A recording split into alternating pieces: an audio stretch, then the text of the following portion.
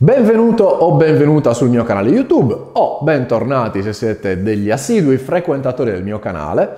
Io sono Pierpaolo Cavagna, questa è una nuova puntata di Storie di ordinaria pedagogia dedicata a domande e risposte. Il format dove eh, provo a fare il grillo parlante e rispondere alle domande che i colleghi mi mandano a questo indirizzo email. E questa cosa qui faceva tanto telegiochino degli anni 90.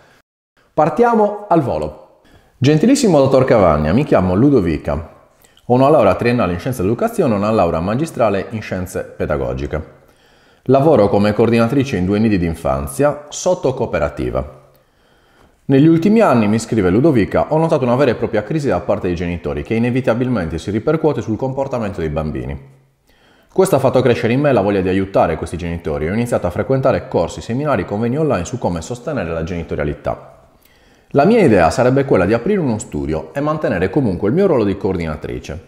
È fattibile tutto questo? Quale sarebbe la strada migliore da seguire? La ringrazio per i preziosi consigli. Dunque, eh, Ludovica, una porzione di risposta alle sue domande gliela dico subito, l'altra gliela dico dopo perché anche il collega successivo mi chiede, mi pone delle domande analoghe e quindi per... Eh, un discorso di sintesi vi risponderò insieme. Rispondo alla sua domanda, la prima, è fattibile tutto questo, cioè lavorare in libera professione e parallelamente mantenere un lavoro subordinato? Sì, a patto che non ci sia concorrenzialità tra i due lavori e a patto che il lavoro autonomo, quindi da libero professionista, non vada a ledere, anche dal punto di vista dell'orario lavorativo, il contratto subordinato. Cosa bisogna fare per mettersi in regola da questo punto di vista? Chiedere al datore di lavoro, quindi alla, alla cooperativa sostanzialmente, il nulla osta in forma scritta. Cosa dovrà metterci in questo nulla osta? Che è in carta libera. Chiaramente tutti i suoi dati e poi dovrà indicare che ha intenzione di avviare un'attività autonoma, libero professionale nella quale andrà a svolgere questi servizi e elencherà le tipologie di servizi. Dovrà anche specificare che questi servizi saranno svolti in un orario extra lavorativo rispetto al contratto subordinato. Salvatore invece mi scrive Buongiorno, gentilissimo dottor Cavagna. Buongiorno Salvatore. Sono laureato in scienze dell'educazione e oltre alla triennale ho portato a termine anche un master in educatore esperto per la disabilità sensoriale e multifunzionale. In questo momento sto portando a termine la magistrale in pedagogia clinica presso l'Università degli Studi di Firenze.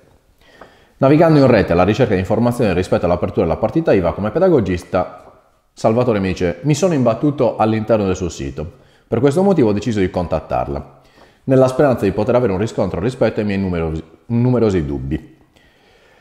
Allora, le domande di Salvatore fondamentalmente sono eh, abbastanza semplici. Negli ultimi mesi ho sentito l'esigenza di provare a capire come aprire una partita IVA e di conseguenza rendere diverso il mio lavoro.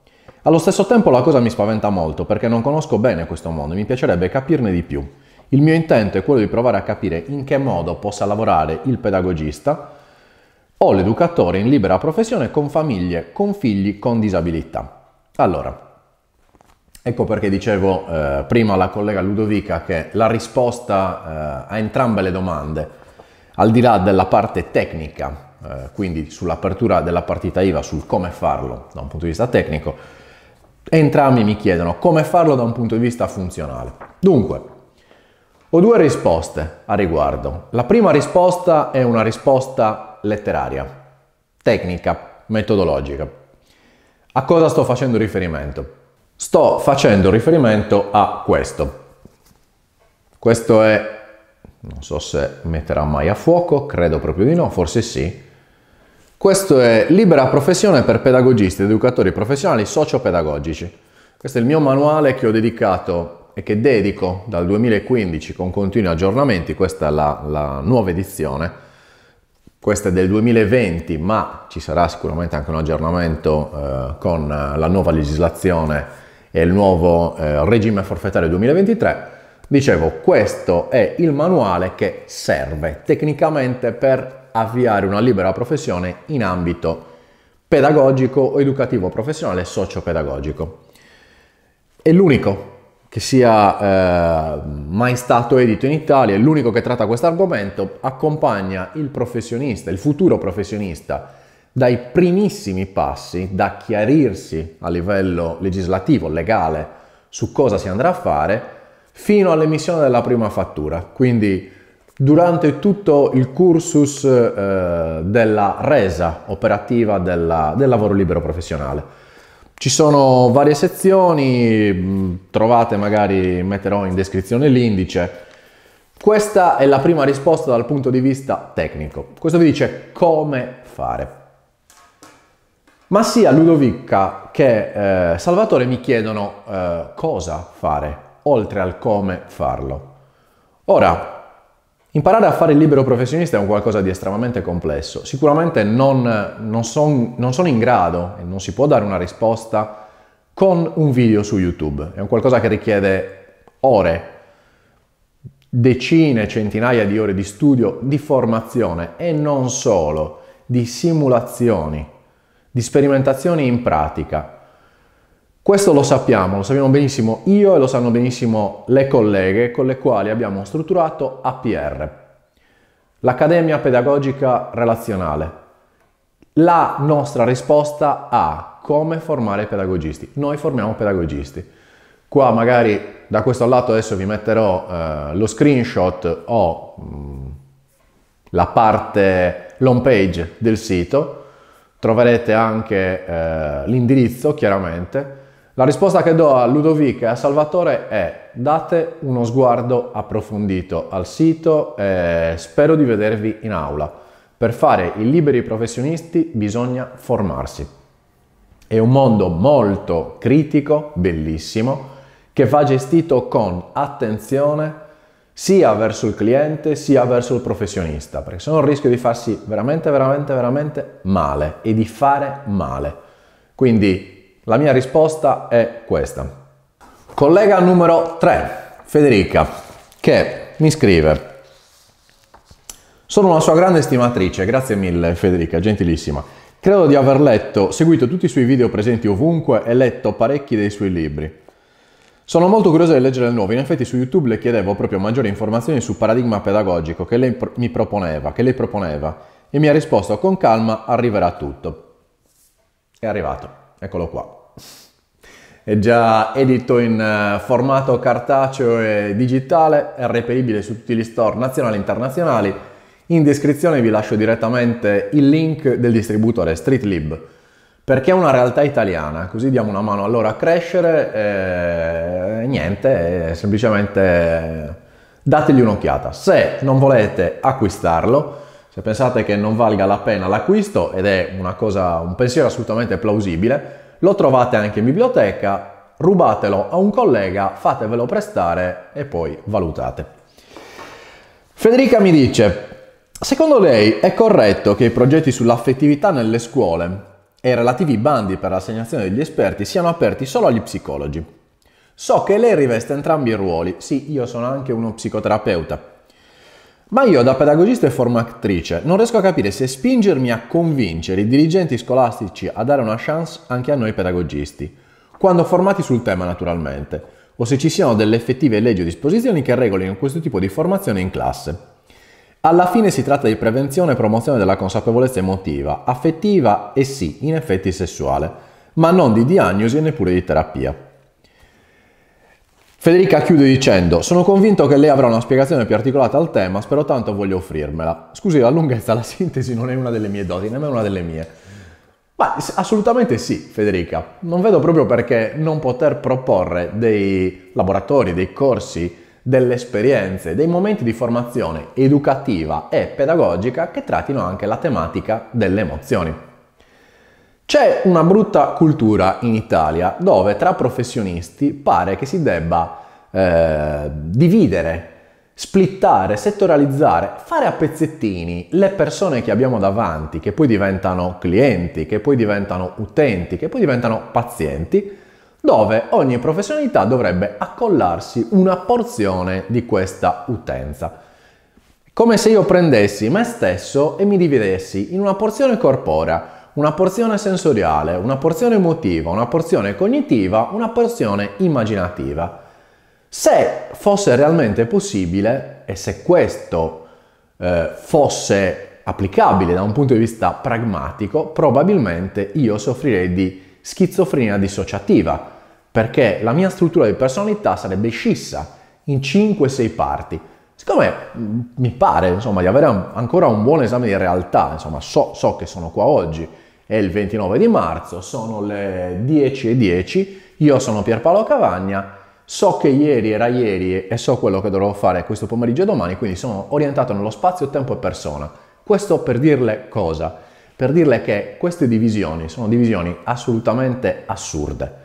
E sì, Certo che possiamo lavorare con le emozioni. Ogni qualvolta noi lavoriamo con un, un, processo che è di tipo educativo, pedagogico, stiamo lavorando con le emozioni, ma stiamo lavorando anche con l'immaginazione, con la cognizione, con il corpo, con le componenti sensoriali. Noi lavoriamo con la persona e della persona fanno parte anche le emozioni, ci mancherebbe pure. E quindi assolutamente sì, certo che ci lavoriamo. Lei mi dice, nelle scuole eh, di solito queste sono cose riservate agli psicologi. Ora, lei non mi ha scritto da dove, eh, dove vive dove lavora Federica, ma io sono sardo e noi ad esempio in Sardegna abbiamo un progetto enorme che copre praticamente tutti i plessi didattici, si chiama Iscola. Iscola con la at del, eh, con la chiocciolina, quindi a scuola. Iscola è il termine eh, che identifica la scuola in sardo è un, è un gioco di parole. Che cosa prevede questo progetto enorme, regionale, continuativo, che dura da anni e continuerà e impiega tantissimi operatori e milioni di fondi di, eh, gestionali di euro allocati? Prevede l'intervento sia psicologico che pedagogico all'interno delle scuole, con due o tre linee. Le linee sono i vari indirizzi del bando, tra cui uno che prevede anche i laboratori. E assolutamente sì, i colleghi psicologi lavorano con i colleghi pedagogisti. Ci mancherebbe che non lo facessimo. Quindi assolutamente sì, Federica. A volte, ehm, prima di acquistare un, eh, un, telefono cellulare, uno smartphone, c'è bisogno che uno con eh, il maglione a collo alto nero, tale Steve Jobs, si sveglia una mattina e dica adesso facciamo una presentazione, presentiamo questo pezzo di plastica e silicio a tutto il mondo. Da quel momento tutto il mondo ha detto, porca miseria, ma lo sai che magari mi serve uno smartphone? Ecco, probabilmente mi viene da pensare che nella sua realtà nessuno si sia ancora svegliato con eh, un'idea del tipo dirigente scolastico. Ma non è che magari serve un pedagogista che lavori sull'emotività a scuola? A quel punto non mi stupirei se il, il dirigente scolastico dicesse, ah, forse qua ci vuole un progetto. Domanda numero 4, domanda di Susanna, eh, che mi aveva già scritto. Allora, Susanna è in una condizione un po' particolare, mi dice, eh, mi chiede più che altro, ci siamo già sentiti qualche anno fa in merito alla questione. La questione è questa. La laurea LM85 dà diritto al titolo L19 anche se proviene da un percorso ibrido?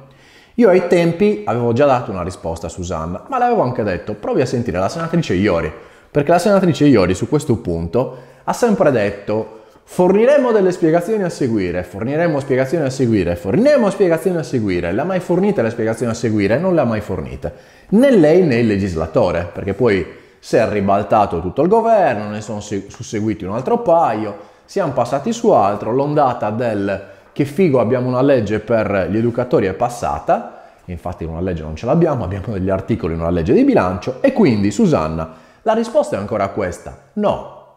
La laurea magistrale in automatico non dà il titolo inferiore triennale. Assolutamente no, ma questo in nessun ambito. L'unica possibilità che eh, ci sia di poter sfruttare questa cosa è venire assunti con un demansionamento. Tant'è vero che la collega chiede, la cooperativa deve assumermi come di 2, educatore con titolo, o può assumermi come di 1, senza titolo? Ecco, l'errore è qua, Susanna. La cooperativa non può assumerla né come di 2 né come di 1. A lei spetta la, l'allocazione nel contratto collettivo nazionale delle cooperative è, è 1. Perché?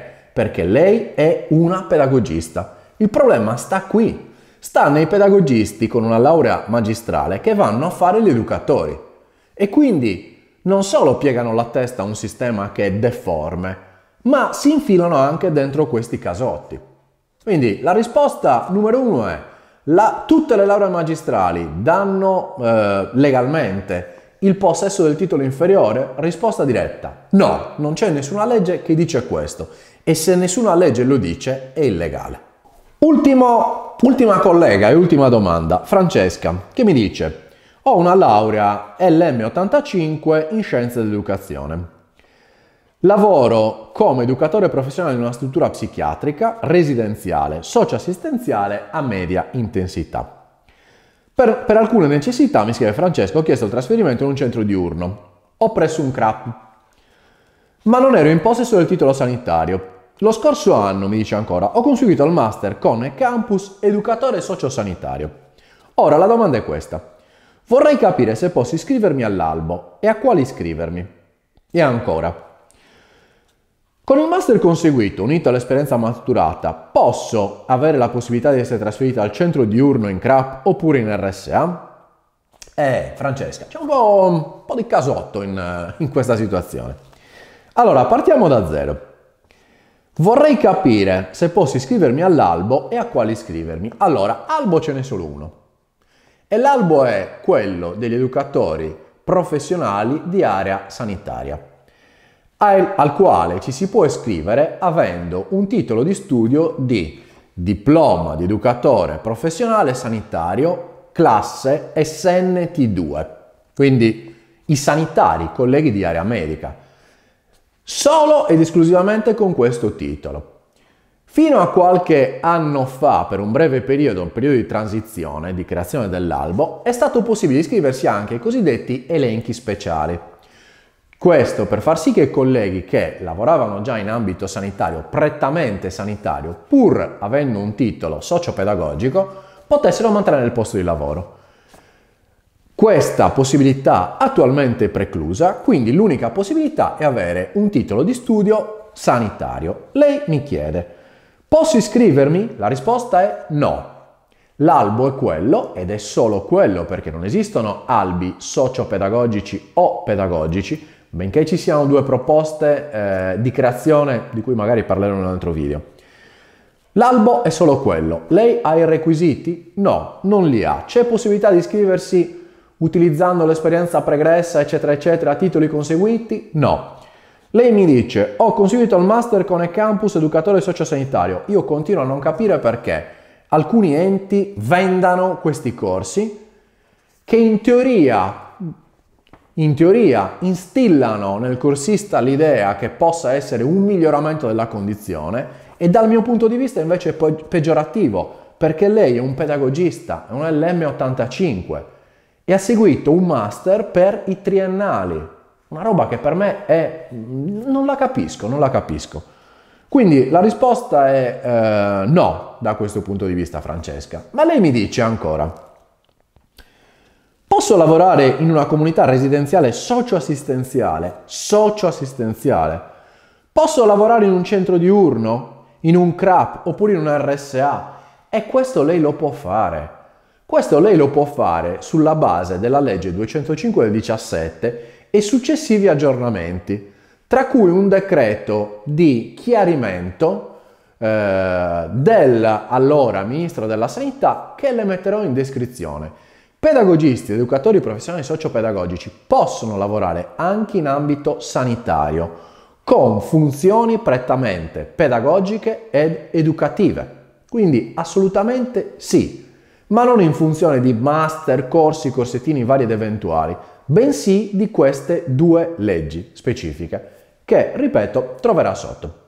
Grazie mille per essere rimasto o rimasta con me fino ad ora, spero che il video sia stato di tuo gradimento. Se hai qualche domanda, magari in questo momento ti faccio ricomparire il mio indirizzo email o facciamo così, direttamente il mio portale così, entri da lì, mi invii, compili il form, lo invii e se hai qualche domanda e se io so rispondere, che non è una roba da poco, eh, ci aggiorniamo in un prossimo video.